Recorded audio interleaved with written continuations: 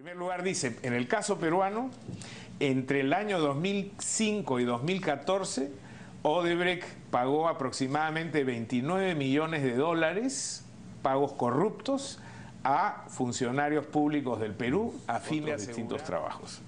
¿Cuáles son las dos operaciones que se mencionan específicamente?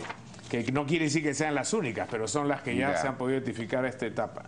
En primer lugar dice una operación del año 2005 relativa a una licitación de infraestructura. reuniones, eh, se produjeron reuniones entre Odebrecht y este alto funcionario del Estado y finalmente se le pagó un soborno de 20 millones, de, dólares para entregarle este contrato de infraestructura. 2005 es el último año del gobierno de Alejandro, penúltimo, penúltimo, último, bueno, Toledo gobernó hasta, hasta julio del 2006, ¿no es cierto? Sí, hay un artículo de Convoca, el, el día de hoy ha aparecido, que hace referencia al tema de la interoceánica en el Perú.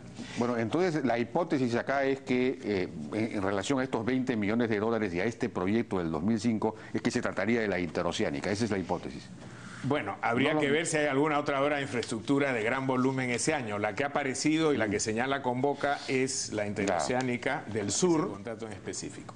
El segundo gran soborno al que se refiere es del año 2008 y dice se pagó sobornos por una licitación a un contrato de transporte para asegurar que este contrato fuera entregado a Odebrecht.